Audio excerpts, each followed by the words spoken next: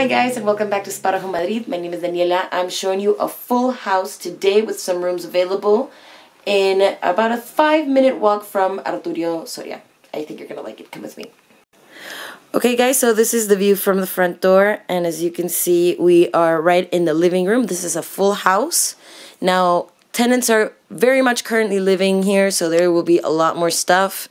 Um, bedroom number one is now available very soon. Bedroom number two will be available eventually, and bedroom number three, I believe, eventually as well. But just so you get an idea.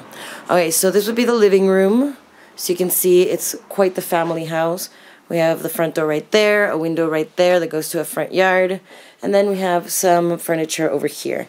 And there's a puppy right there, a very, very friendly puppy. Um, we have TV over here, a lot of um, cabinets and uh, coffee tables here. The puppy belongs to bedroom number three, which is the most likely, the least likely to become available soon. So it might be here if you choose to move into bedroom one or two. Okay, um, over here we have a sitting room. We have um, the another couch here with a couple of chairs and a coffee table. We have some furniture over here, another TV over here, and uh, another some more furniture over here with you know plates and DVDs and whatnot. We have right there uh, the chandelier, and over on this side we have a desk area um, for the tenant of bedroom number three, and some you know personal belongings over there. If we go through here, we actually have bathroom number one. It's uh, just a toilet and a sink. There's no shower in this one. Those are upstairs, and we'll see them in a minute. But it's sort of like uh, when you have people over we have the small bathroom over here. Right over here we move to the kitchen. It's a fully equipped kitchen. We have um, gas stoves over here, which is just better than electric ones. We have a um, an oven. We have a toaster coffee maker. Over here we have cabinets with, you know, pantry space. And it has plates, pans, and everything you need. If we turn this way, we have some counter space here. We have uh, the sink right here. And if we lift here, we see that we have a place to dry. And, you know, just cups. It has everything you need for cooking. Microwave and over here, you know, just cutlery and whatnot. So more storage with um, cooking supplies. This would be the kitchen. So you can see here we have this really nice um, tile on the kitchen all around. And over here we have a little private patio. So you can see we have this wooden floor right here. It's partly roofed. And it's, uh, this area here is used sort of a, as a trastero, you know, just for like general keeping of things. If you have a bike or anything, just general things that you want to store away. There's some space over here for that like that. And we have some trees in there, and it's always nice to have some plants close by. Okay, so this would be the first floor of the house because it's a full-on house. We're walking past, we're doing little turns here just so you guys can check it out. Back to this living room, and then we go to the stairs. Over here, we climb through the stairs up through here and we reach the landing right here and we see four doors. So we walk through this. This right here would be bedroom number one. This will be the one more uh, immediately available. We have this bed right here. Something that's cool about this is that you can actually lift it up and it becomes, you know, part of the wall. So you get a little bit more space here if you want to. We have a full-length mirror here. And we have a whiteboard right here. We also have some, um, you know, a little bit of, of closet space. Again, tenants are still here, so it needs to be cleared out more. But this will be the space that we have available.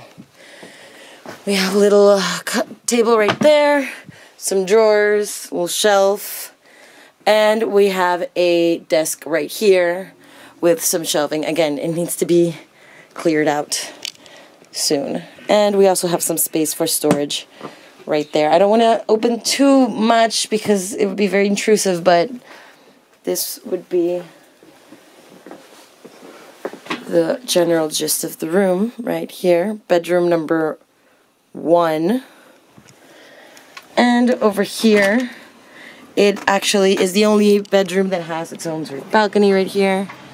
As you can see, we have the balcony here, and it goes to the street. Seems to be a pretty quiet street right there.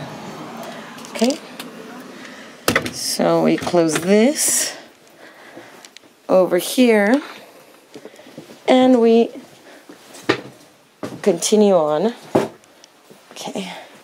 To back to the landing and to bedroom uh, number two. A little bit more spacious, as you can see. We have the double bed right there. We have a futon right here. I don't want to get too close there because there's some personal images. Again, someone is still occupying this bedroom. Bedroom number one will be available very soon. This will take a little bit more time. We have some shelves here. And let's check out the window view right there. So that's the same view as the other one. And then we have this very big closet on this side, as you can see. I'm going to try to open a little bit so you guys know what's up. But again, I can't, I don't want to be too intrusive. They're very large. They go all the way over there. And, you know, all the way over there. Very large closets.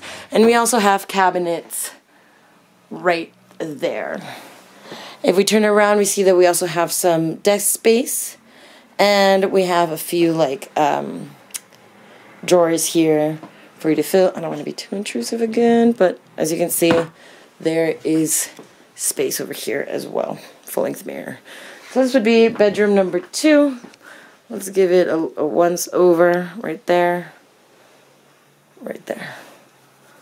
Okay. We move now on to bathroom number two. This would be the bathroom for the two bedrooms we just saw. We have right there uh, the sink, pretty big sink, little shelf here, mirror. We have some uh, storage space here as well. We have this pretty big uh, full tub right there with a removable shower head. And if we turn around, we see that we have a, uh, I'm sorry, toilet and a bidet.